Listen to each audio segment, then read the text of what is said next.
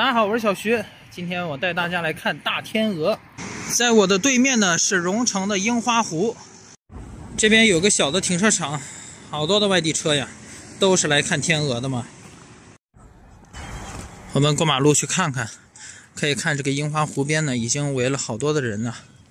哎呦，不少，真不少啊！啊，不少啊，差不多有一百多只。一百六七十。嗯，听口音，您不是本地的？天津的。天津的。然后在荣成这边住。在江滨这边住。嗯。过来看个天鹅哈。每天都过来啊哈哈，每天都过来。还有学生在拿画板画画的。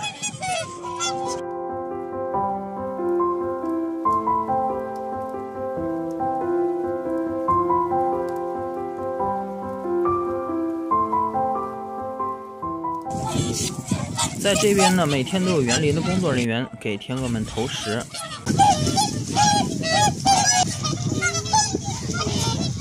这除了大天鹅以外呢，还有很多的不知名的黑色的小鸟，还有河里游的这个应该是鸳鸯，对吧？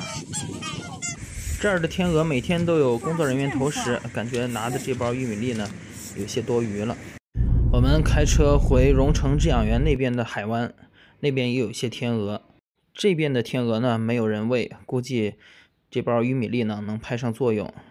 但是来了之后呢，发现天鹅离的岸边好远好远，突然感觉这包玉米粒就渺小了。快过来呀，这边有吃的！不行啊，这包两宿就是浪费了。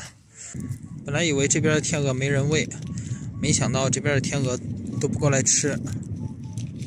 是不是因为海里的可以吃的东西太多了，就不用就不用 为了这边？